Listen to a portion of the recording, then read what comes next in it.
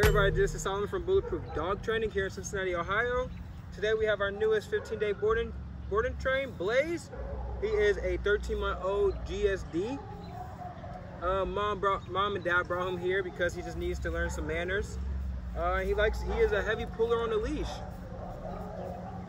Um, he's a little nervous right now. It took a while to get him out out of his kennel, but before we get started with his training, let's see what commands he knows. Hey, Blaze, can you sit? Can you sit? No? Can you sit? No? Just look at me? Okay. Can you down? Can you down? Down? Alrighty. We're gonna walk.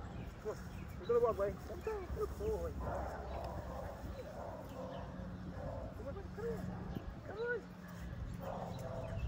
on. As you can see, he just wants to do his own little thing. Um, but check back in in 15 days for his amazing transformation. And thank you for choosing Bulletproof.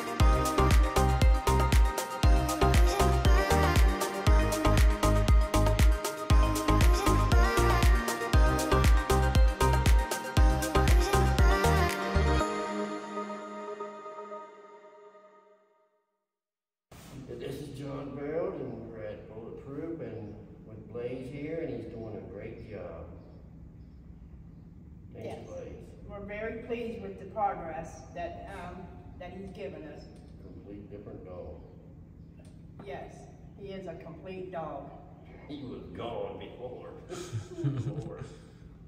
We're very happy with the progress, We can't for wait to sure. practice and help him do better. And Solomon did a great job, Yes, he did. taking him out into the world and training him in the walking, yes. I would have never let him outside, you know, loose. Be gone.